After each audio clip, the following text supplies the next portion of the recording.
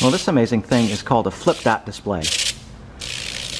It's uh, pretty obsolete at this point. I don't think anyone's making them anymore, but you can still find them on eBay if you're lucky. And it is an electromechanical display device here. So I'm going to turn it on the edge so you can get a glimpse there. And you can see there's magnetic coils. Every dot has its own little electromagnet. And that electromagnet causes a little flap on the front to flip back and forth because there's a tiny little magnet mounted on it. One side's yellow, one side is black. Right now I've got it running some test patterns here. But I thought I would do a short little video series about how this thing works and how I built a little controller for it, which you can see on the back here.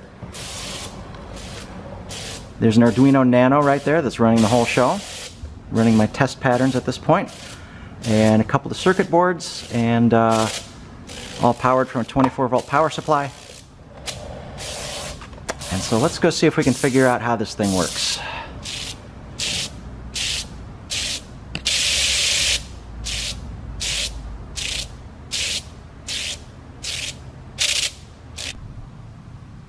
Okay, now we're back at the bench and I've taken the panel and removed the controller from the back there so you can see how it came to me. These things are laid out in a matrix and on this board I've got 16 rows and 30 columns. And what they do is they wire a common connection on every column that comes up to this connector here that I mark with a C and there's a common connection on every row and that comes up to this connector marked with an R. Uh, on the original, uh, these were intended to be used in a uh, in a setup where you had multiples of the board, and so there'd be a pair of connectors, big ribbon cables that came off every board, and it went all back to one big controller that had a whole bunch of uh, of uh, connectors on it, and it would run the whole show. Now these were made by a company called Annax, A-N-N-A-X, and that's a German company that makes uh, makes all kinds of things for mass transit, so it's not surprising that they would make these. Uh, it looks like they're, they're no longer mentioned on their website, and I'm not surprised about that. Uh, even in the older product section, I don't see a mention of them. I was able to find out that that, that company name came about uh, from a merger in the early 90s, so it must have been manufactured at some point after that. Uh, but I wouldn't be surprised if by the early 2000s they had stopped making these things altogether. Um, you can see on the front here there's some there's a pair of ICs and then on the back I've got some small surface mount ICs and a bunch of other components. There's a voltage regulator there and some other miscellaneous stuff.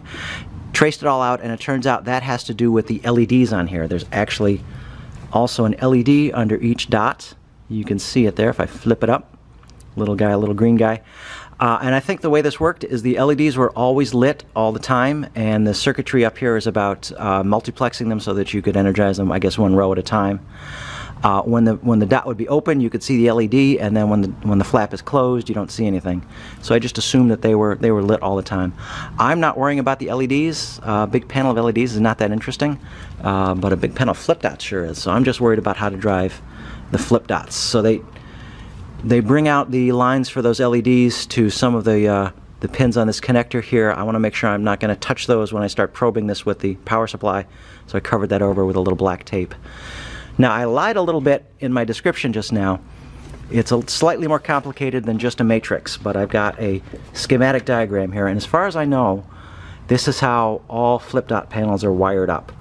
Uh, if you just had a matrix with uh, a column line going to every coil and a single row line going to every coil and didn't have these extra diodes in here what would happen is if you try to energize just one by say putting a positive voltage over here and a negative voltage over on the row you'd certainly energize that coil but what happens is there, there would also be a path for that current to flow through pretty much every other coil as well uh, and so that just wouldn't work out at all. If you want to be able to individually address the coils, and of course we do, uh, you have to be able to steer the current just to one coil at a time. So that's what the diodes do. So uh, on this board, if I want to flip a dot from black to yellow, I need to put positive over here on the row high line and negative up here on the appropriate column line.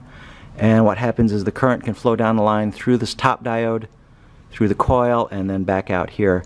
And if you try to trace out any other path, you'll find out that you can get down through here, but you really can't do anything with that. You can't go back up because the diodes are pointing in the wrong direction here. So you can energize just, just one coil at a time.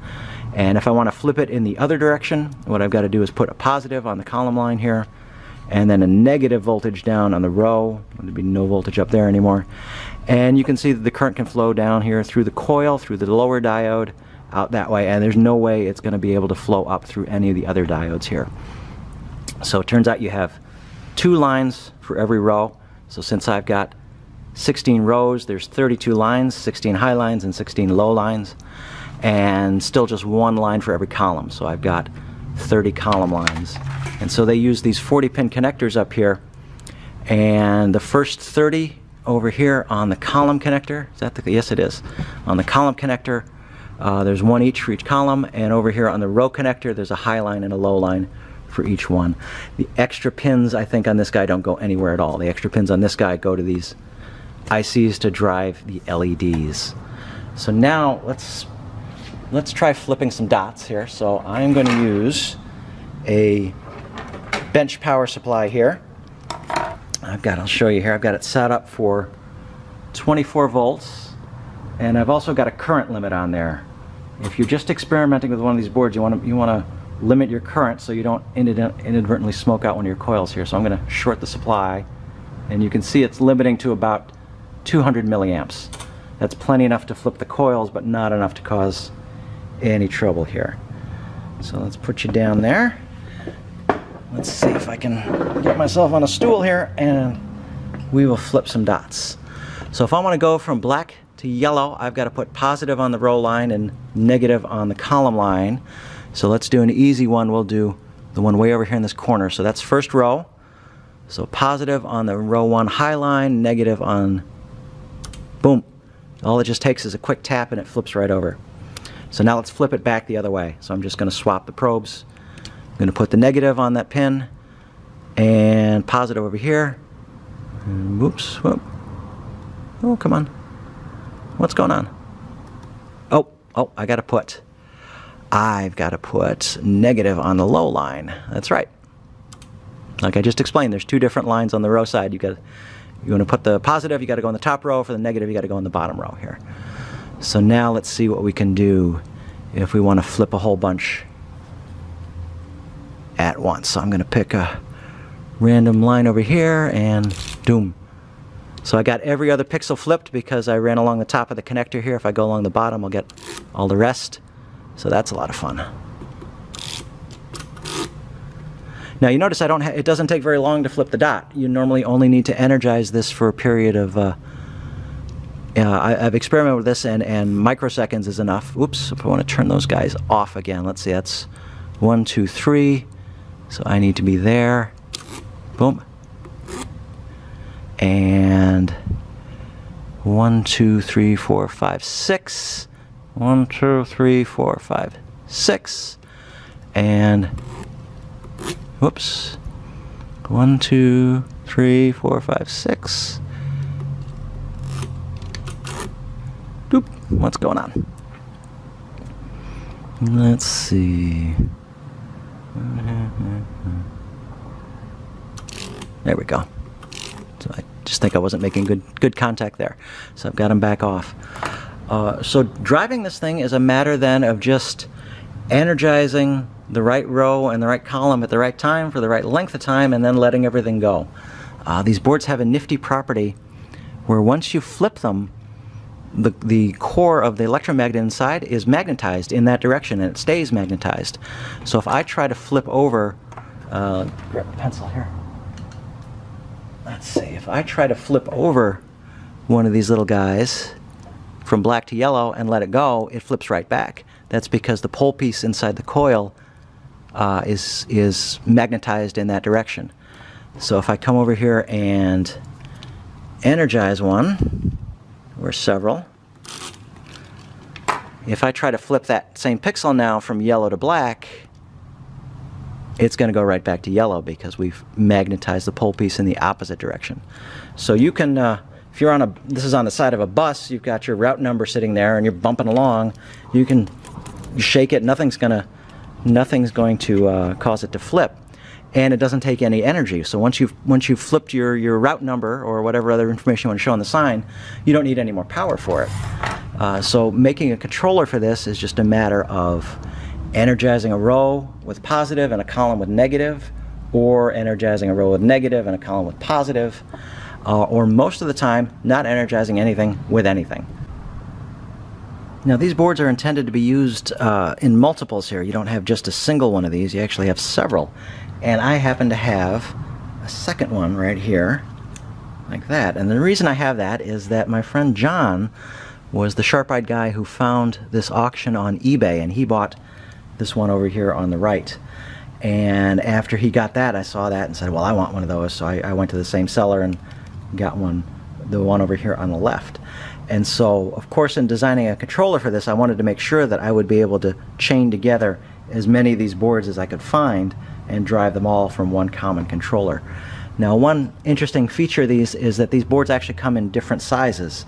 If you'll notice, the first board I was using there has 30 columns. This second board only has 25.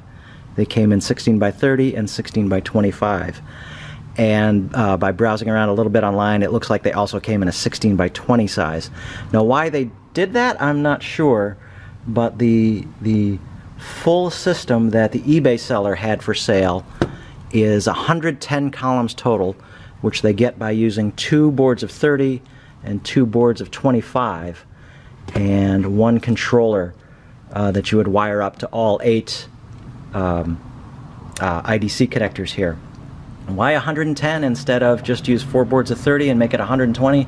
I don't know. Maybe there was some particular amount of space they had to fill, you know, whatever whatever the amount of space they had on the side of a train or the side of a bus, whatever it is, I don't know. Uh, but these do come in different sizes, and so that uh, presents some challenges here because I want the controller to be able to figure out uh, what size board it's attached to. I don't want to have to have configuration jumpers or something like that, or uh, certainly not have to have to reconfigure the software and reflash it every time I want to move it from one one panel to another. Uh, but fortunately, uh, with either 25 or 30, and if I'm going to use 8-bit shift registers, uh, it's the same number of shift registers in either case. 20, 25 is one too many to have only three shift registers. You have to have the fourth. Once you've got the fourth shift register, you can go as high as 32.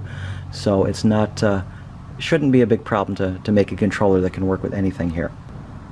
And of course, uh, my friend has been kind enough to let me experiment on his board while I'm designing all this, and, and when it's all done, he'll get to give, of course, I'll give him a, a, a copy of the board because I've got quite a few copies at this point.